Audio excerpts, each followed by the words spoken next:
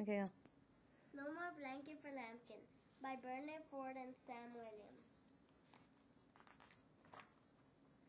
Ducky knocks on Lambkin's door. They have a play date today. Lambkin is hugging her blanket. It is small. It is soft. It is very dirty. But Lamp- Lambkin never lets it go.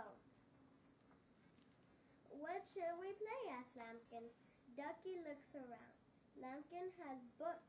She has old, she has dolls. Lambkin has doll clothes and ribbons in a little toy chest. It's a girl. I want to play laundry day, says Ducky. Let's do the washing. She takes the doll clothes and